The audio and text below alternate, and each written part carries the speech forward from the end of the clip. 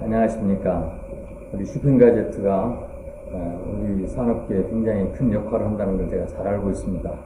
아, 상당히 역사성도 있고, 어, 독자가 가장 많은 그런 잡지이고, 거기서 또 이런 좋은 프로그램을 만들어서 이렇게 에, 기회를 주는 것에 대해서 감사를 드리고요.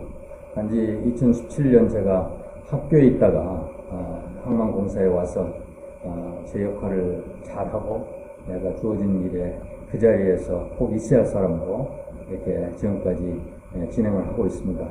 2018년도 어, 우리 독자분들 어, 건강하시고 또 우리 회원이 다시 살아나고 또 국제 물류, 글로벌 물류가 더욱더 융성해져서 우리 국부가 여기서 창출될 수 있는 그런 좋은 계기가 됐으면 좋겠고 슈핑 가족들이 그런 역할을 하는데 최선을 다했으면 좋겠고 저도 항공사 사장으로서 어, 공적 기능을 확충하고 또한 지금까지 예, 부족했던 것은 더욱더 어, 노력을 해서 보충하면서 에, 항만공사로서의 기능을 최선 다할 수 있도록 봉사하는 자세로 낮은 자세로 우리 직원이 하나 되어서 어, 이렇게 갈 계획입니다.